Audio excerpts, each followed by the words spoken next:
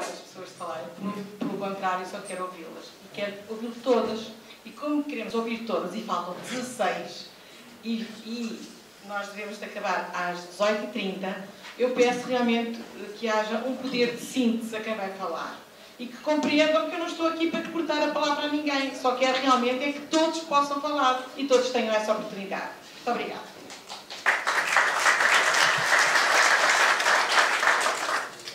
Boa tarde a todos. O meu nome é Paulo Rodrigues. Tive o enorme prazer de ter como professor o Dr. Paulo Moraes e apreciar desde essa altura as suas qualidades pessoais, não só profissionais, que estas também são inquestionáveis, mas pessoais. E já dessa altura assistir e presenciar a sua cruzada. E pensava e refletia nas motivações que podem levar uma pessoa a enfrentar todo um sistema, todo um aparelho, todo um conjunto de interesses, sem nunca renunciar, sempre convicto, sempre com força e perseverança. Esse exemplo, que deve ser tomado por todos nós, sem qualquer favor digo isto, apenas um profundo respeito e amizade.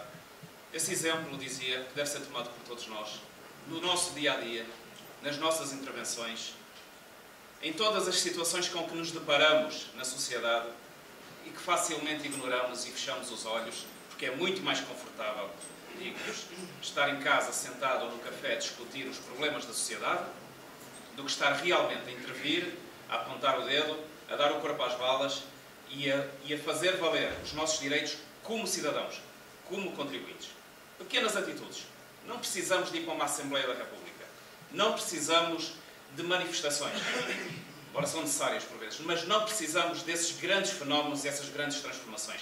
A transformação fazemos-la nós, todos os dias, no nosso dia a dia, ao questionarmos, ao colocarmos em causa, ao confrontarmos quem tem os poderes do que está mal, do que nós exigimos, porque sabem que é que os políticos mais têm medo é de pessoas livres. Pessoas livres porque estão descomprometidas de sistemas não imaginam o quanto eles receiam essas pessoas. Não imaginam que quando se deparam numa casa de poder, e esta é uma casa de poder, e são milhares de casas de poder como esta ao longo do país, não imaginam a reação quando vem alguém desconhecido a questioná-los. Tentam logo rotular. Tentam, tentam logo rotular.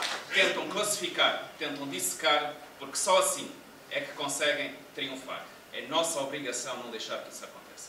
É nossa obrigação irmos às reuniões das juntas de freguesia participar.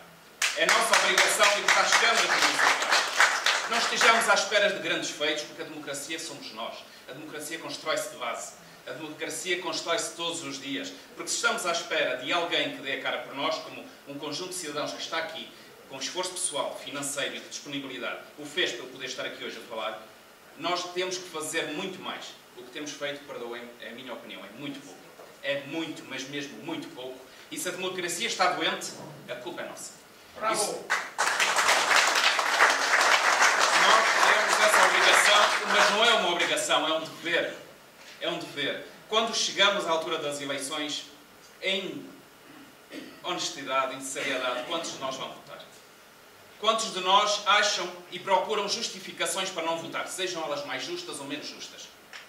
Nós esquecemos com facilidade que aquilo que construímos é aquilo que estamos a destruir. A nossa ausência é um voto. É um voto para alguém fazer por nós aquilo que nós não queremos que seja feito. É passar um cheque em branco para que as pessoas o preencham, aqueles que têm o poder o preencham, e estamos todos a pagar essa fatura. Dito isto, o meu muito obrigado e reconhecimento às pessoas que estão por trás desta iniciativa, porque são pessoas que em determinado momento disseram basta e passaram da palavra aos atos e eu sinto-me privilegiado realmente por poder estar aqui, porque acho que é, esse, é isso que a sociedade precisa de nós. Se os partidos políticos tomaram a liberdade de puxar para si a, a democracia e apadrinharam-na e tutelaram-na e dizem-se os pais, cada um diz o que é o pai e reinterpreta a democracia a seu prazer, então, meus amigos, pela qualidade da democracia que nós temos, percebemos a qualidade da política que nós temos. E a culpa, mais uma vez, é nossa. Cabe-nos a nós combater isso, cabe-nos a nós intervir, cabe-nos a nós o nosso papel. O diagnóstico está mais do que feito. Eu costumo comparar, a democracia não é um Estado abstrato. A democracia é cada um de nós, somos nós, somos a finalidade, somos o início e o fim da democracia.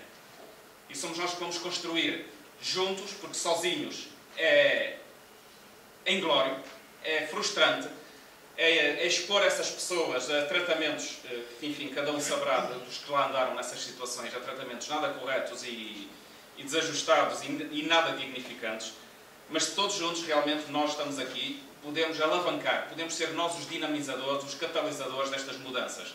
Porque chega ficar a conversar em cafés, chega de ficar a conversar no sofá, chega de ficar a conversar no Facebook. É preciso agir, é preciso participar. É isso que se espera, é isso que estas pessoas esperam, é isso que a sociedade precisa de nós, é o nosso futuro. Não estamos a brincar. Eu tive o privilégio de viver uns anos num país imigrado. E desculpem, é a minha opinião pessoal, imigrar não é um drama, imigrar é um privilégio. Porque podemos aprender tanto. Estive no sul do Brasil, sul do Brasil, que está agora a julgar o Paraná, a julgar os casos de corrupção.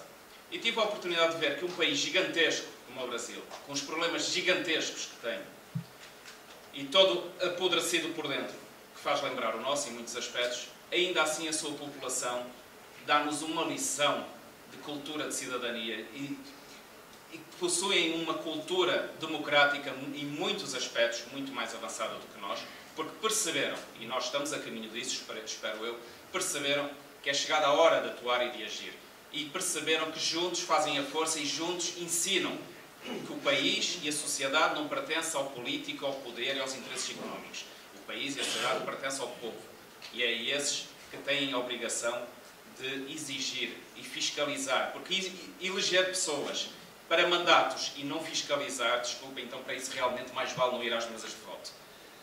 É a minha opinião sincera. Quanto à missão da, da Frente Cívica, eu acho que nós devemos realizar uma missão, não tenho nenhum contributo claro, porque também não tive tempo para o preparar agora, enquanto estava aqui a ouvir as intervenções. O nosso objetivo, claro, deve ser em duas frentes, muito claras na minha, na minha opinião. É a participação e a educação, a formação. É formar as pessoas, é, é ensinar às pessoas porque é que devemos de votar em programas e não em promessas. Porque é que devemos de fiscalizar e exigir em vez de estarmos no conforto do nosso lar, por muito complicadas que tenhamos as nossas vidas, e temos, cada um de nós tem a sua história.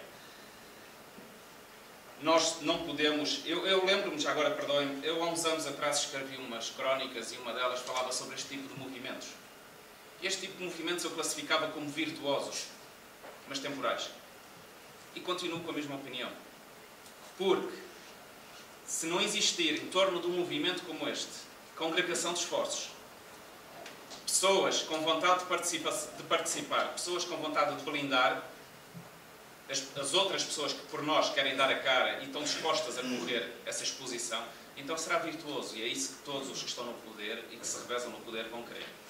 Sobre, sobre os, a estrutura, gostaria de sugerir que a estrutura se assemelhasse muito mais às necessidades reais do país, porque nós já identificamos várias necessidades toda a hora.